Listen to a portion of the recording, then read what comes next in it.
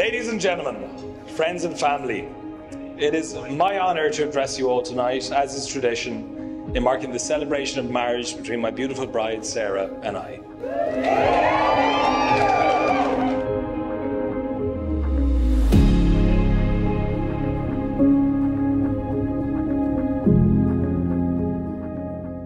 As the parents of the bride, we couldn't be happier to see our daughter so radiant and in love.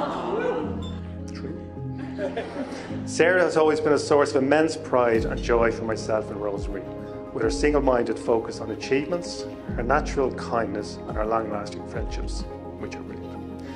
We know Sarah has found a wonderful partner in Simon, and we welcome Simon into our family. Totally.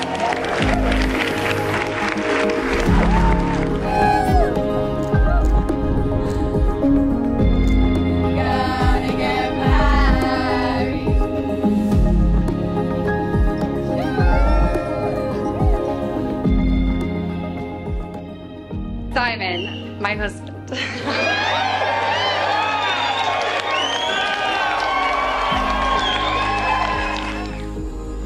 I remember so vividly the day we met almost seven years ago. I was working away down in Wheelahan's wine bar and you came in, I'm pretty sure hungover, with another girl, a friend. I didn't even know who you were then, but I felt like I did, and I hoped it wouldn't be the last time I saw you.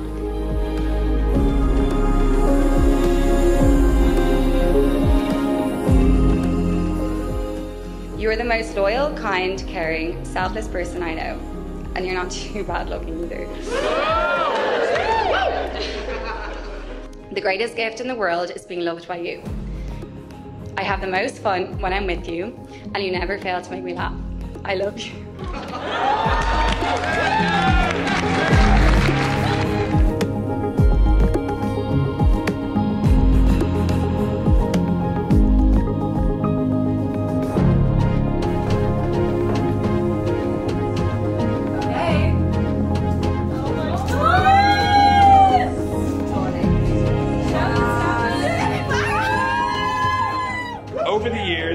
gone by many names to me. Sarah, Saz, Sazler, Sazer, Browner, Bebe, and now wife.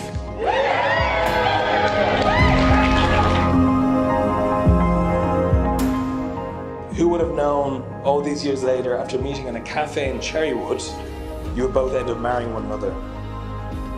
It's obvious to many that you have breathtaking good looks, but beyond that, your most attractive traits for me will always be your character and your spirit.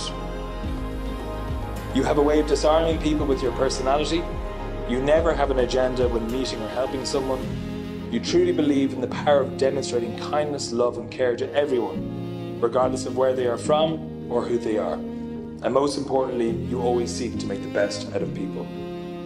But it is important for you to know in front of everyone here how much I personally value you and I hope you know that today and always, I will continuously push to become the man and person you deserve, because I love you with every fibre of my being.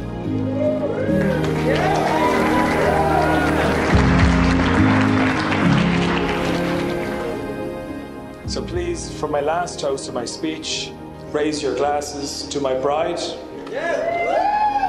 my wife, to my best friend, to my star, to my Sarah. Thank you very much.